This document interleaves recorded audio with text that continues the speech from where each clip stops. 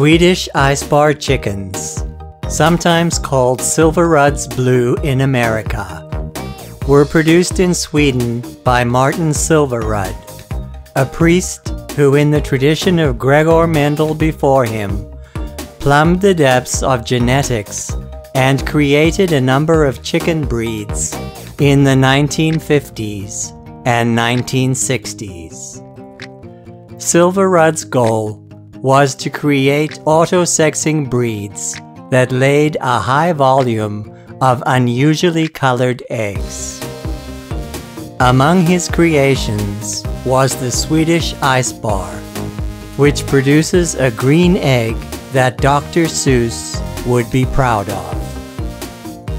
Swedish Isbar chickens were imported into the United States in 2011 from Sweden and again in 2013 to ensure genetic diversity. Isbars are available in three basic feather color patterns blue, black, and splash. Most breeders and hatcheries offering Isbar chicks sell them as is with regard to color so you are not sure which color patterns you will end up with or in what proportions. As a result, a flock of Swedish Isbars presents in a range of metallic colors with lots of splash patterning.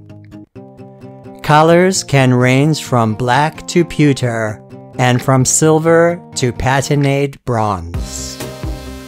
Swedish Isbars are the only pure breed of chicken that lays a naturally green tinted egg.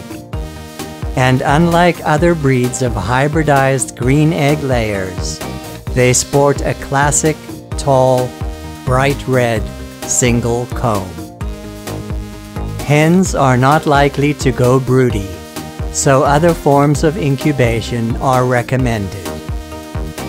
Swedish Isbars are cold hardy chickens and thrive when foraging free range, but can also be confined without issue. They are savvy birds, alert for predators, but friendly and interactive with people. On average, mature roosters weigh about 5 to 5.5 pounds and mature hens weigh about 3 to 3.5 pounds. Swedish Isbars produce between 150 to 200 eggs per year. Eggs are medium to large in size, with colors ranging from moss green to pastel green, and they are sometimes overlaid with purple or brown speckles. Many chicken aficionados think Isbar eggs are the most beautiful of any egg.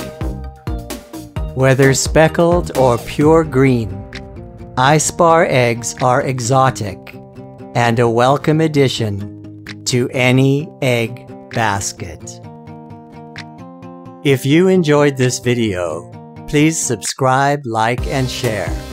Don't forget to click on the bell icon so that you'll be notified whenever a new video is posted.